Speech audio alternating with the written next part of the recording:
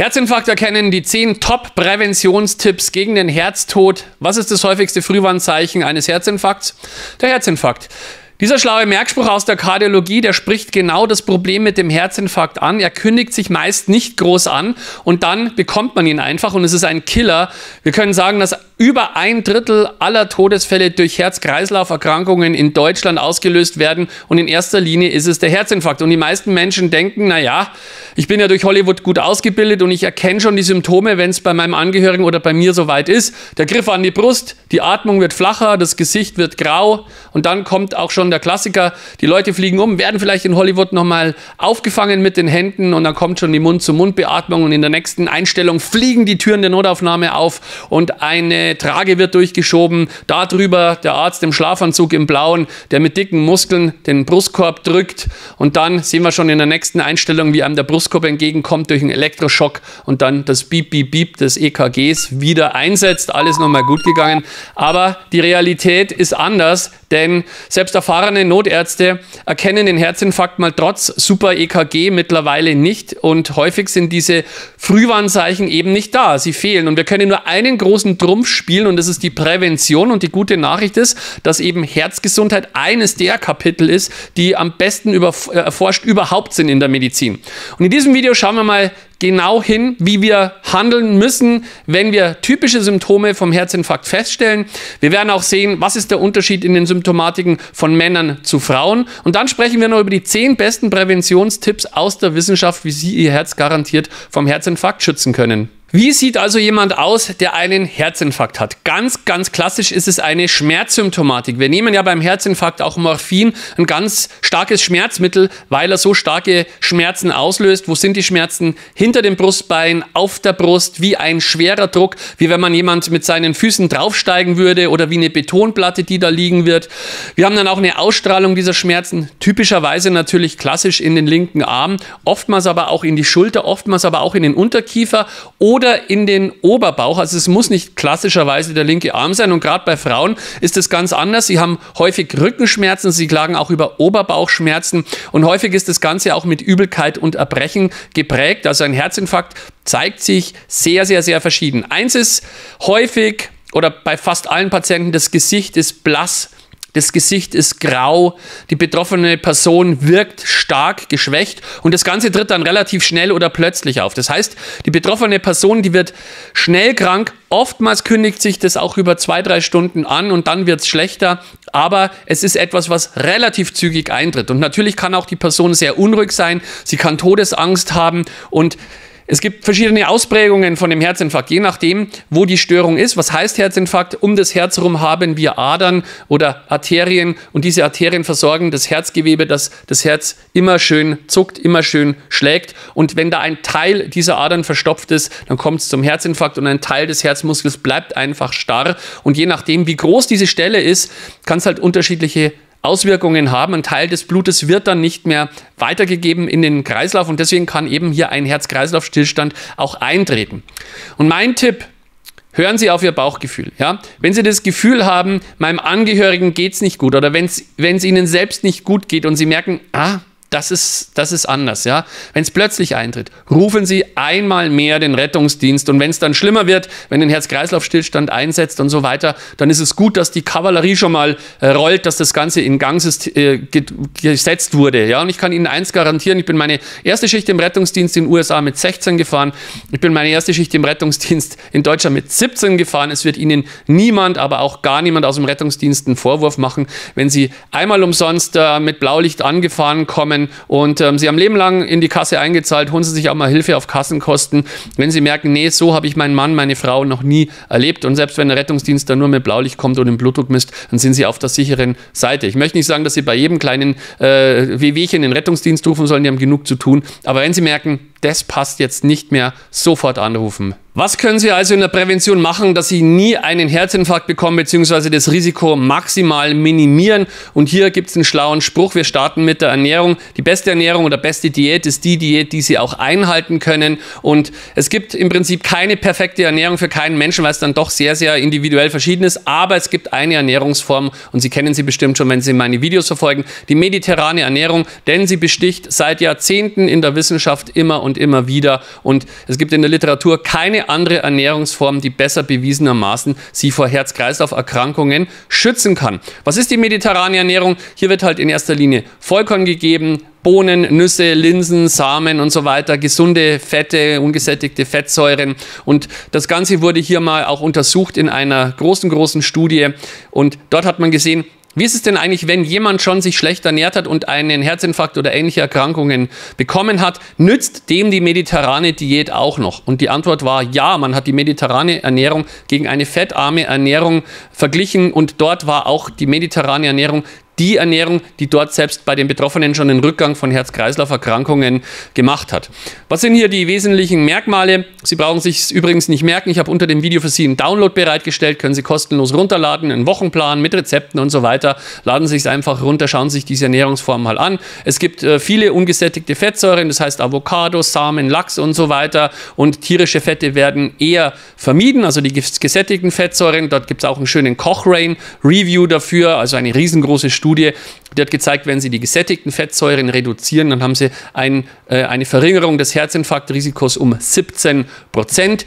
Wichtig ist, wenn Ihre Ernährung Fleisch enthält und Sie machen gerade diese Carnivore-Ernährung, die so be bekannt ist oder gerade halt so trendy ist, ähm, dann schauen Sie, dass, dass Sie wirklich mageres Fleisch zu sich nehmen. 2020 hat man dann im British Medical Journal nochmal eine sehr interessante Studie und, äh, gemacht und dort hat man die Nahrungsaufnahme an Gesamteiweißen angeschaut. Und dort hat, hat, ist eindeutig rausgekommen, dass je mehr pflanzliche Proteine sie zu sich nehmen oder je mehr Eiweiß wir zu uns nehmen, desto geringer ist sozusagen die Krebssterblichkeit und auch die, die kardiovaskuläre äh, Sterblichkeit. Also höhere Proteinzufuhr ist immer gut für, für, uns. Allerdings, wie gesagt, Freunde der Weißwurst, es ist, äh, sind äh, Proteine auf pflanzlicher Basis in erster Linie und wir sprechen hier nicht über das Fleisch.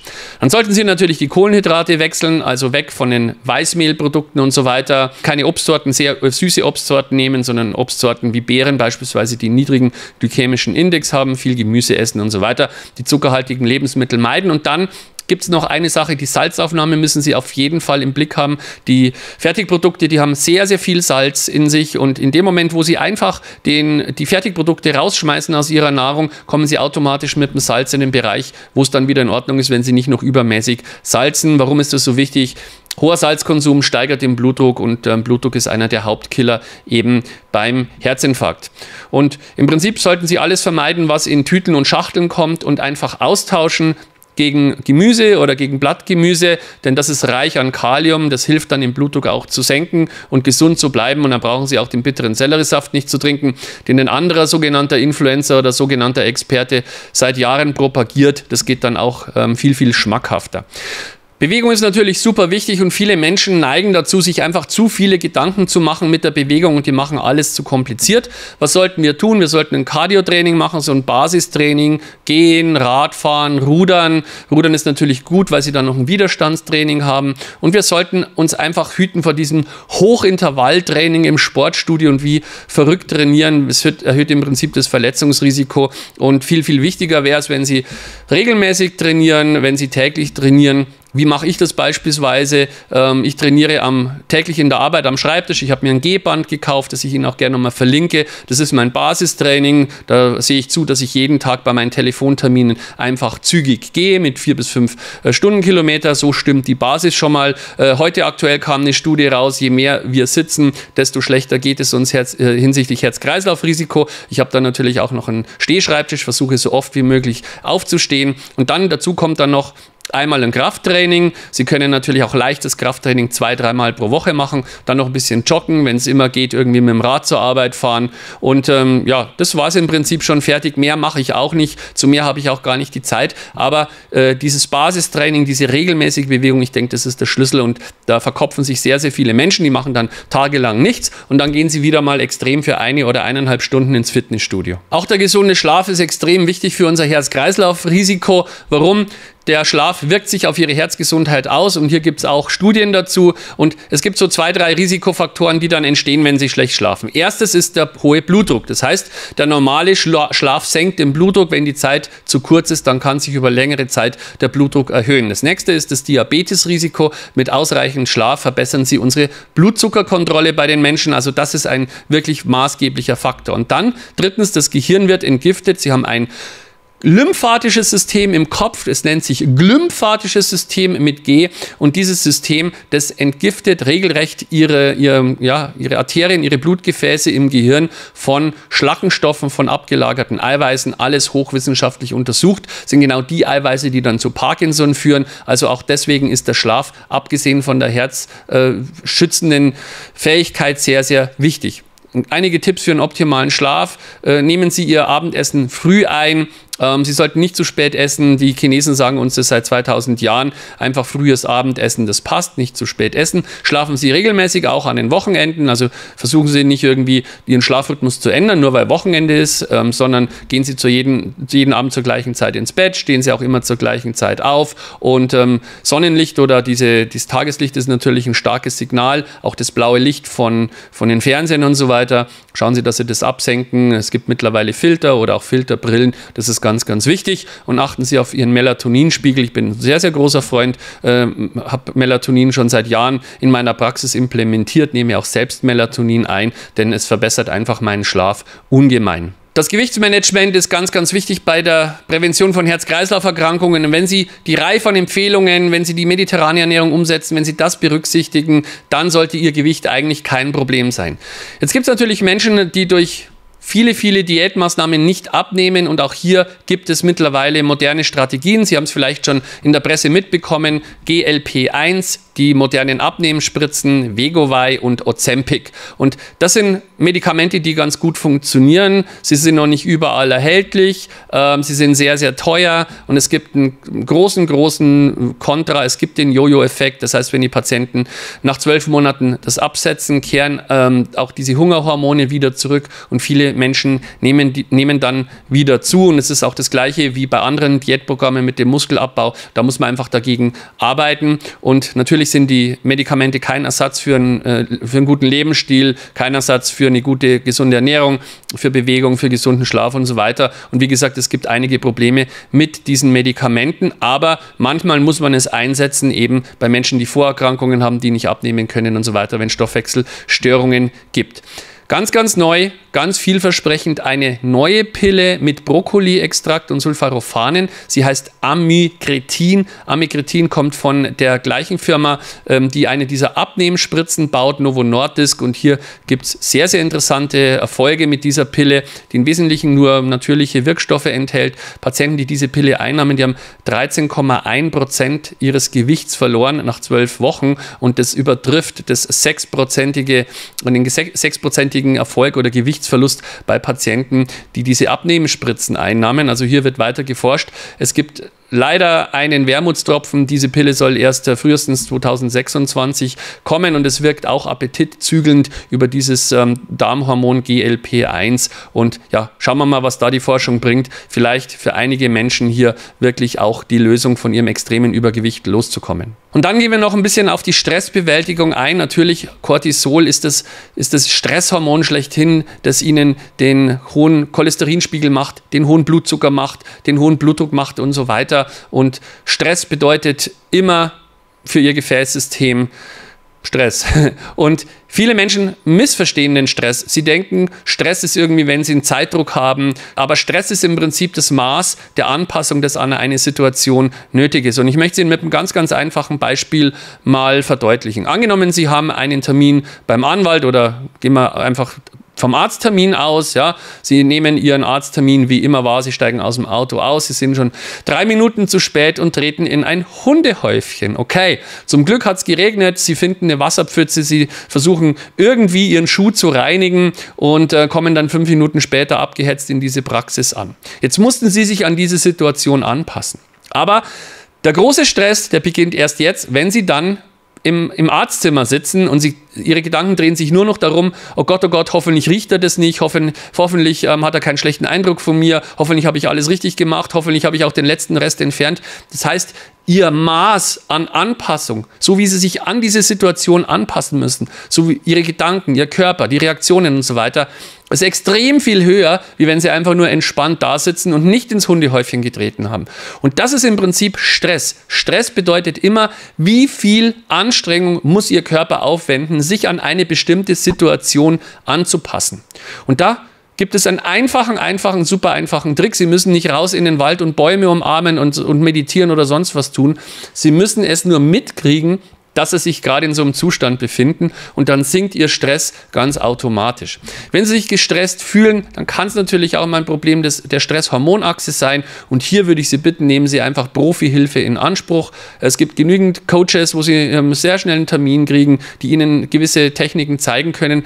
Also wenn Sie sich gestresst fühlen, bringen Sie das in Ordnung und lassen Sie sich helfen mit ein paar Strategien und die einfachste Strategie ist eben zu schauen, hey, momentan mitzukriegen, ich habe wieder Stress. Kommen wir zum Blutzuckermanagement. Und das Blutzuckerthema sollte eigentlich kein Problem sein, wenn Sie Ihren Lebensstil ändern und auch bei Bedarf Medikamente einnehmen. Natürlich Ausnahme, wenn Sie unter Diabetes mellitus Typ 1 leiden, dann geht es natürlich nicht. Aber sprechen wir mal wieder so über den Durchschnittsfall, sage ich mal, ähm, man lebt ein gutes Leben, man baut ein bisschen Übergewicht auf, man bekommt Bluthochdruck und irgendwann sagt der Doktor, Mensch, jetzt sind die Blutdruckwerte und die Blutzuckerwerte erhöht. Jetzt müssen wir aber schauen, dass wir was machen. Und wie gesagt, auch hier helfen lebensverändernde Maßnahmen. In den allermeisten Fällen ist es möglich und noch nicht zu spät, dass man erst gar keine Medikamente braucht oder vielleicht von den Medikamenten wieder wegkommt. Und für härtere Fälle gibt es die zugelassenen GLP-1-Antagonisten, also Semaglutid. Das das ist eben ein Blutzucker stabilisierendes Medikament. Ähm, Vegovai, diese Abnehmen oder die Spritze, die auch als Abnehmspritze fungiert.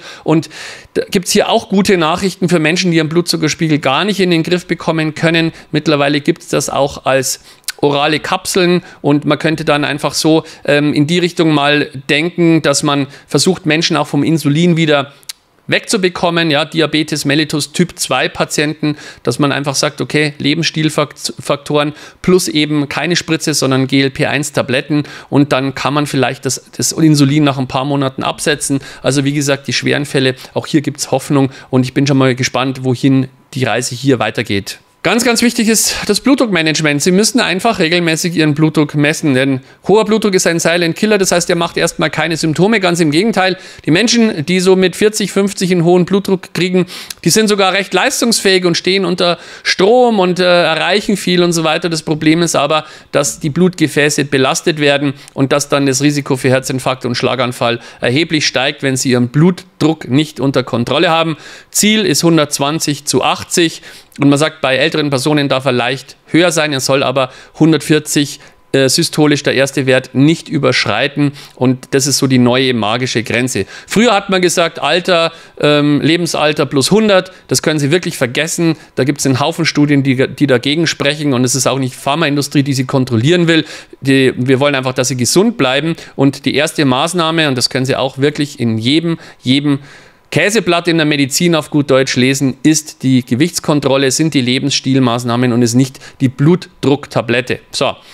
Hier gab es eine schöne Studie 2015. Dort hat man gesagt, wenn man den Blutdruck streng reguliert und ähm, aggressive Blutdruckkontrolle macht, dann reduziert man signifikant die Herz-Kreislauf-Erkrankungen, die Komplikationen. Und für manche Menschen ist der Zug dann einfach abgefahren. Sie haben einfach lange Zeit zu lange, zu gut gelebt. Da muss man halt einfach eine Blutdrucktablette einnehmen. Erstmal, um sie aus der Gefahrenzone zu bringen. Und dann kann man im Hintergrund mit Sport und so weiter, mit Ernährung immer noch viel machen. Ich habe neulich schon mal ein Blutdruck-Video ähm, veröffentlicht und da bin ich sehr, sehr stark kritisiert worden, weil ich gesagt habe, Fasten senkt sofort den Blutdruck. Ich war vier Jahre stationärer Fastenarzt und im Prinzip ist es ein Kunstfehler, wenn Sie nicht schon am ersten Fastentag einem Menschen, der zwei, drei Blutdrucktabletten nimmt, die Blutdrucktabletten Tabletten zur Hälfte reduzieren. Warum? Sie werden ihren Menschen dann in ihrem Arzt, in ihrem Notdienst wiedersehen, wenn er dann kollabiert ist in seinem Bad. Warum?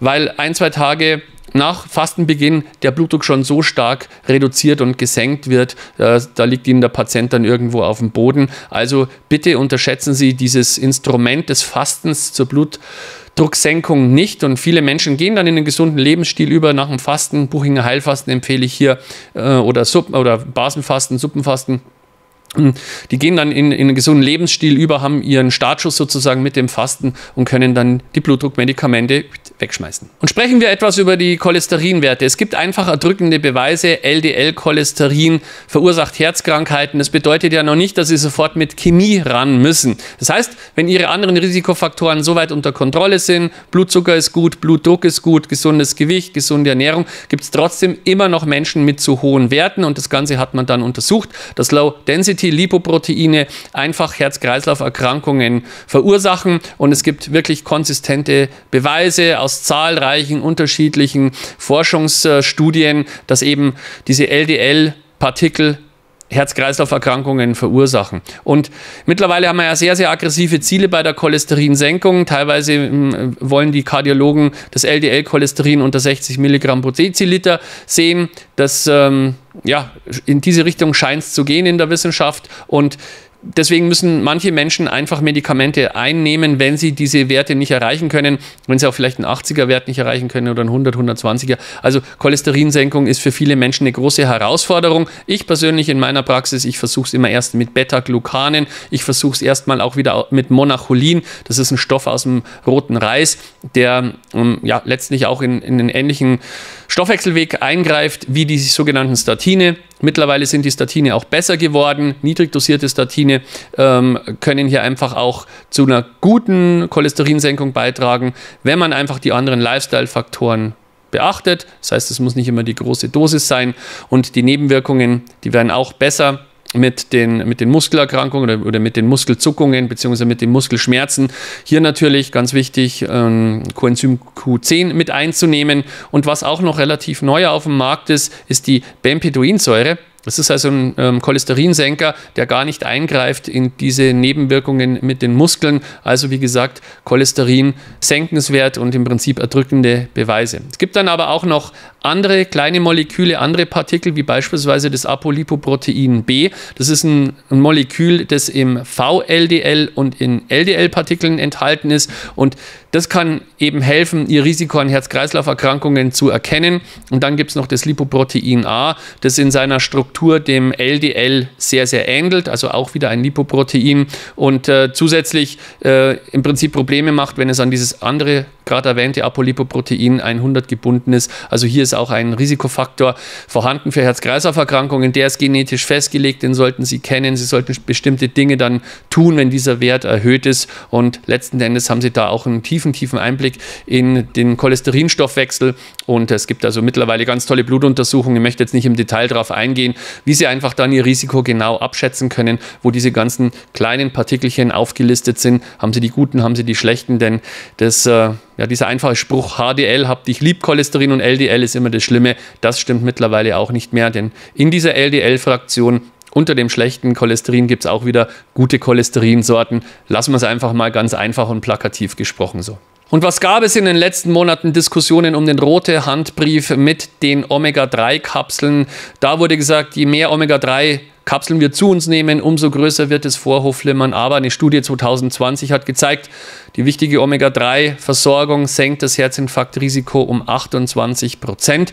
Und bei diesem rote Handbrief, da ging es eigentlich nur darum, dass es Menschen gibt, die sogenannte veresterte Omega-3-Fettsäuren zu sich nehmen. Das sind also Medikamente, die aus Omega-3-Fettsäuren gemacht sind. Die sind verschreibungspflichtig und um diese Medikamente ging es. Dort hat man dann gesehen, wenn man zu viel von diesen Medikamenten nimmt, dann steigt die Gefahr für das Vorhofflimmern. Ich selber empfehle nach wie vor meinen Patienten Omega-3 Fettsäuren einzunehmen. Mit 2 Gramm pro Tag sind sie ganz gut dabei, DHA, EPA und äh, so wollen wir es einfach auch belassen, denn wie gesagt, dieser rote Handbrief, der betraf nicht die Nahrungsergänzungsmittel, sondern eben die speziellen Medikamente, wo die Omega-3-Fettsäuren dann nochmal synthetisch verändert sind. Und die beiden letzten Punkte können wir zusammenfassen. Einmal geht es um den Alkohol. Und auch hier gibt es wieder Daten, die wirklich ähm, alarmierend sind. Denn früher hat man gesagt, ein Glas Rotwein pro Tag und so weiter sei okay. Mittlerweile gibt es die Tendenz zu sagen, gar kein Alkohol ist okay. Und das ist das Gesündeste. Warum? Alkohol kann den Blutdruck erhöhen. Und Blutdruck ist so einer der Hauptfaktoren, wenn er zu hoch ist, wenn es um Herz-Kreislauf-Erkrankungen geht. Und beim Nikotin weiß es eigentlich jeder, aber hier auch nochmal die Zahl. Raucher haben ein 65% höheres Risiko an Herzinfarkten zu erkranken. Und ich kann auch nur vor diesen modernen E-Zigaretten warnen, das Vapen, das ist überhaupt gar nicht gesund und ja, überprüfen Sie wirklich, müssen Sie denn wirklich so ein synthetisches Dampfzeug in Ihre Lunge reinziehen? Also auch hier einfach ein bisschen mit Verstand. Ich hoffe, Ihnen konnte das Video helfen. Wir sind mal drüber gegangen über die zehn wichtigsten Präventionstipps. Wie gesagt, der Download hier unten ist völlig kostenlos. Schauen Sie sich so eine gesunde Ernährung mal einfach an. Teilen Sie dieses Video mit Ihren Freunden und Verwandten. Ich freue mich, wenn Sie den Kanal abonnieren und danke meinen Kanalmitgliedern. Wir sehen uns bald wieder beim nächsten Live wo ich mich schon auf Ihre Fragen freue. Und dann sehen wir uns wieder beim nächsten Video. Danke fürs Zuhören und bis bald.